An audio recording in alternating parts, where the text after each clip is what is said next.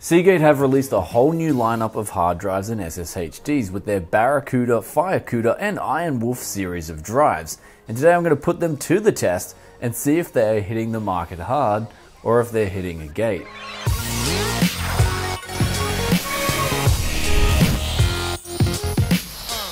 Welcome back to Tech City, and this is the Yes Man Brian coming to you guys today with a look at three different drives. First is the drive that I put in my personal rig in both a RAID 1 and RAID 0 setup. These are the new lineup of Barracuda drives that come in different size variations, going from 500 gigabytes to 4 terabytes, and the 7200 RPM drives. They also have a two year warranty, though there is also the Pro lineup, however, that boasts an impressive 5 year warranty and has larger sizes available up to 10 terabytes though these are a little bit more costly. However, the 3TB drives that I purchased from Umart came in at around 130 AUD each, which would be about 95 USD. I believe they are even cheaper in the US, however, coming in at 90 USD flat. In RAID 0, the performance was very impressive, scoring both over 300 megabytes read and writes per second, and the consistency of these read and writes never had any noticeable dips. And this was across a huge 50 gigabyte random stress test. Though what about the boot times? Loading games and frame times, may you ask? Well, it took one of these drives roughly 48 seconds to boot from a cold boot, and comparing that to the SSHD after three runs, that scored 41 seconds, and Intel NVMe SSDs I have here in RAID 0, they scored a mere 12 seconds.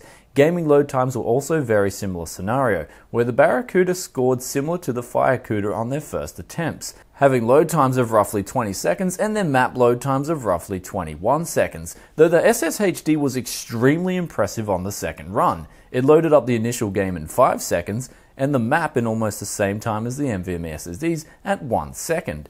And when testing game frame times on Dota 2, the Barracuda and also SSHD scored ever so slightly better than the Intel RAID drives. Though this is a test with some variance involved, but it does go to show that these drives will not hamper your gaming in any way, shape, or form. The, the next drive we have up here is my favorite out of the bunch. This is the Firecuda 2TB SSHD. You can get these in both 1 or 2TB flavors, and they also have a 2.5 inch variant available for laptops. Though when I was looking at the price, this drive comes in at roughly 150 Aussie dollars or 103 US dollars in the States, and comes with a 5 year warranty. 5 years? 5 years? 5 years?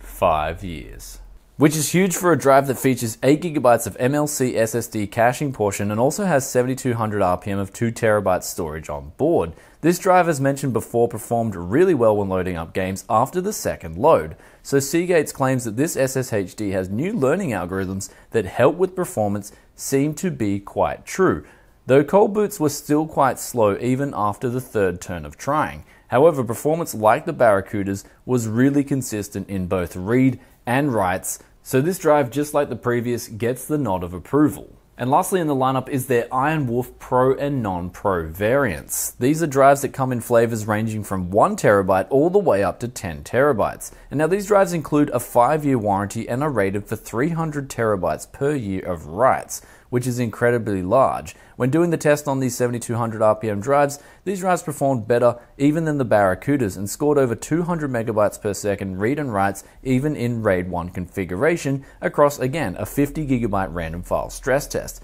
And the consistency of these read and writes were again very good. An interesting point was that the 4K random read and writes were also quite high for that of a hard drive, which would indicate that these drives are designed for constant writes which will not only serve perfectly as a NAS solution, but will also be great for security solutions where consistent writes are a must over RAID 1 arrays. You also get rotational vibration sensors on board, which help eliminate errors from vibration. And on that note, the drives are more shock resistant to vibrations than other hard drives.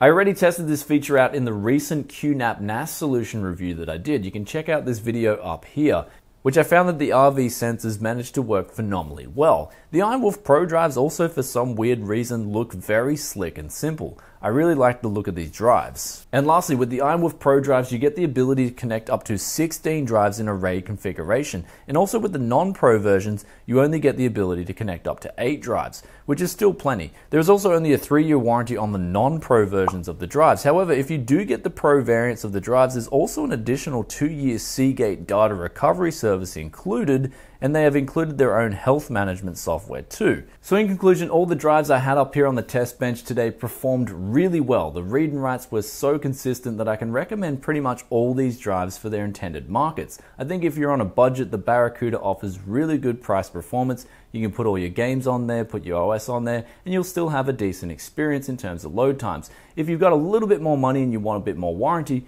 then the Firecuda Pro would be my personal pick. You get two terabytes and you get it for a pretty good price and you get a massive five year warranty. And then you've got the Ironwolf Pros, which are intended for the prosumer market or the business segment, with offering great speeds and also very reliable performance, although it does cost a bit more than the other variants I've mentioned here today.